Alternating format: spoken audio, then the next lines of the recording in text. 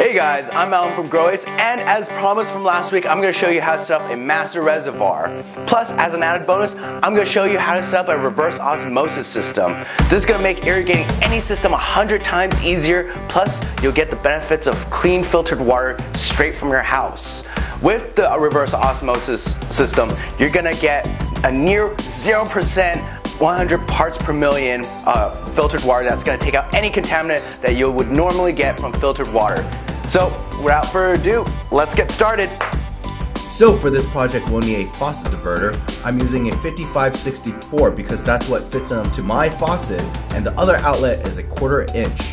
You'll also need a pump, a garden hose, a floating shutoff valve, a 1 inch to 3 fourths adapter, and an MIT thread adapter, a big plastic trash can, and of course our reverse osmosis filter. First, I took out the aerator on my faucet and replaced it with the diverter. The diverter will allow you to send water straight to your filter.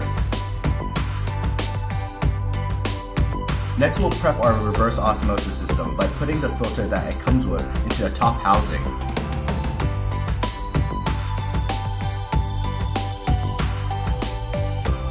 After, we'll work on a reservoir. Drill a hole at the top that's big enough to fit your floating shutoff valve. Then go ahead and fit the valve through the hole.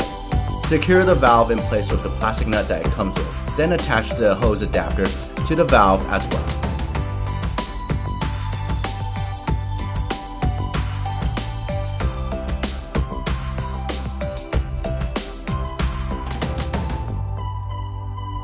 Great, your reverse osmosis filter should come with three colored hoses. Take the blue hose and insert it into the end of your floating valve. Next, take your white hose and plug it into the faucet diverter. This is your input line. And with the black hose, insert it into the drain. Your filtration system is now fully functional. To turn it on, simply turn on your faucet and pull on the tab to send water through the system.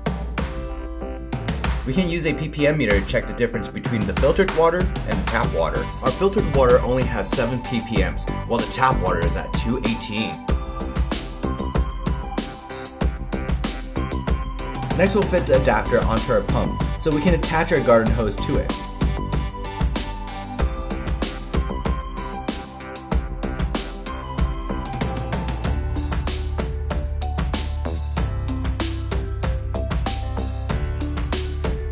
After you're done, put the pump into your reservoir and now you can pump filtered water straight into your irrigation system. I hope that video was informative. If you guys have any questions, please leave me a comment down below. I will answer them. and also please hit the like and subscribe button for me to stay up to date with all the videos that we're coming out with. I'm Alan from Growace. Keep growing guys.